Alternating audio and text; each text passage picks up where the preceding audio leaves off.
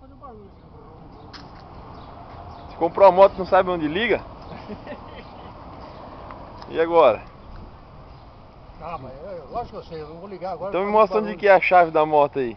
A chave não vou falar pra você, que aí, se eu falar, você, não, você vai acabar pegando minha moto aqui e vai querer sair fora. É? E onde que. A chave aí, não é né, nesse painel aí?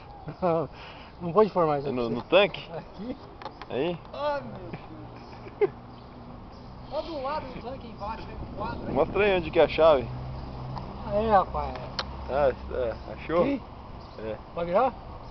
tá ligado já. Só apertar o botão pra ligar, rapaz. É.